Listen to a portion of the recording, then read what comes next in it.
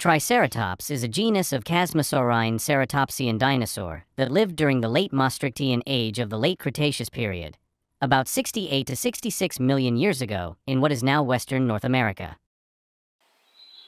It was one of the last known non-avian dinosaurs and lived until the Cretaceous Paleogene extinction event 66 million years ago.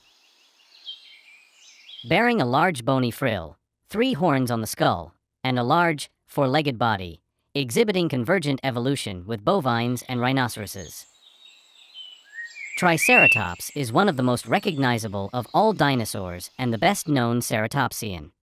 It was also one of the largest, measuring around 8 to 9 meters, 26 to 30 feet, long and weighing up to 6 to 10 metric tons, 6.6 to 11.0 short tons.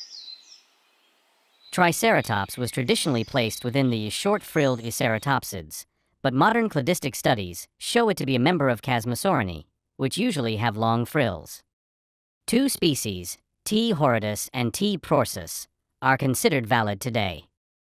Seventeen different species, however, have been named throughout history.